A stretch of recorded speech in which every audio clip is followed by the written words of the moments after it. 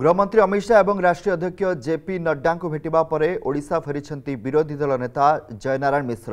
ଉଭୟ ନେତାଙ୍କୁ ଭେଟିବା ପରେ ଜୟନାରାୟଣ ମିଶ୍ର ପ୍ରତିକ୍ରିୟା ରଖିଛନ୍ତି ଓଡ଼ିଶାର ରାଜନୈତିକ ପରିସ୍ଥିତି ନେଇ ଜେପି ନଡ୍ଡା ଏବଂ ଅମିତ ଶାହାଙ୍କ ସହ ଆଲୋଚନା ହୋଇଥିବା ସେ କହିଛନ୍ତି ଓଡ଼ିଶାର ଚିତ୍ର ମୁଁ ସେମାନଙ୍କ ପାଖରେ ରଖିଛି ଉଭୟ ନେତା ଓଡ଼ିଶାକୁ ନେଇ ବହୁତ ଚିନ୍ତିତ ଅଛନ୍ତି ବୋଲି କହିଛନ୍ତି ଜୟନାରାୟଣ ମିଶ୍ର ସେପଟେ ଜୟନାରାୟଣଙ୍କ ଚାଷ ଥିଓରିକୁ ନେଇ ଚର୍ଚ୍ଚା ହେଉଛି ରାଜନୀତିର ଚାଷ ଥିଓରି କଥା କହି চবিশে ওড়শার ফসল কাটবু বলে জয়নারায়ণ মিশ্র এবে আমি সার দেছু চবিশে ফসল অমল করবু বলে জয়নারায়ণ মিশ্র যেহেতু ফল ধরিনি সেপাই দেখা যাওনি কিন্তু আমি ধান বিলরে চাষ কামরে লাগিছু ফসল অমল পাই যেমি চাষ কার্যর বিভিন্ন পর্যায় রয়েছে ଆମେ ମଧ୍ୟ ସେମିତି ସରକାର ଆଣିବା ପାଇଁ ବିଭିନ୍ନ ପର୍ଯ୍ୟାୟ ଦେଇଯାଉଛୁ ଏକା ଦିନରେ ତ ସବୁକିଛି ହୁଏ ନାହିଁ ସେଥିପାଇଁ ପ୍ରକ୍ରିୟା ଜାରି ରହିଛି ବୋଲି ସେ କହିଛନ୍ତି ସେପଟେ ରାଜ୍ୟରେ ସିବିଆଇ ଏବଂ ଇଡିର ତଦନ୍ତ ପ୍ରଶ୍ନରେ ଜୟନାରାୟଣ କହିଛନ୍ତି ସିବିଆଇ ଇଡି ଆମର ରାଜନୈତିକ ଅସ୍ତ୍ର ନୁହେଁ କିନ୍ତୁ ଓଡ଼ିଶାକୁ ସିବିଆଇ ଏବଂ ଇଡି ଆସିବାର ନିଶ୍ଚିତ ଆବଶ୍ୟକତା ରହିଛି ଓଡ଼ିଶାରେ ଦୁର୍ନୀତି ଚରମ ସୀମାରେ ରହିଛି ଓଡ଼ିଶାରେ ଅନେକ ଲୋକ ରହିଛନ୍ତି ଯେଉଁମାନଙ୍କ ଦୁର୍ନୀତିର ଭାରା ରେ ଭାରାକ୍ରାନ୍ତ ହୋଇଛି ଓଡ଼ିଶା ତେଣୁ ମୋତେ ସିବିଆଇ ଏବଂ ଇଡିର ଆବଶ୍ୟକତା ଉପଲବ୍ଧି ହେଉଛି ତାପରେ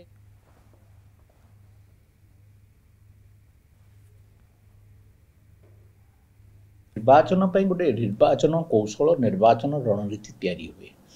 সেটা মু একা তৈরি করিবিনি সেটা টোটাল বিজেপি টিম তৈরি করিব সেই টিমরে নিশ্চিত ভাবে অমিত শাহ এবং নাড্ডাজীঙ্কর ପରାମର୍ଶ ନିଆଯିବ ଆମେ ଆମର ପ୍ରତ୍ୟେକ ଜିନିଷର ଗୋଟେ କ୍ରିୟାକଳାପର ସମୟ ଥାଏ ମନେକର ଧାନ ଲଗାଇଲ ବୁଣିବ ତାପରେ ପଲ୍ହା ରୁଇବ ତାପରେ ଘାସ ବାଛିବ ତାପରେ ସାର ଝିଣ୍ଟିବ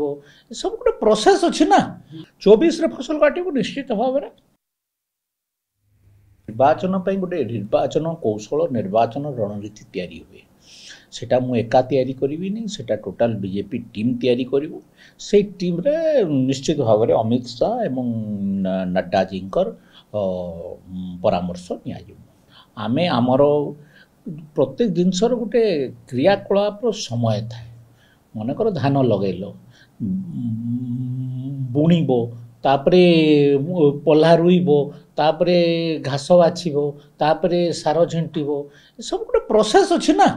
ଚବିଶରେ ଫସଲ କାଟିବୁ ନିଶ୍ଚିତ ଭାବରେ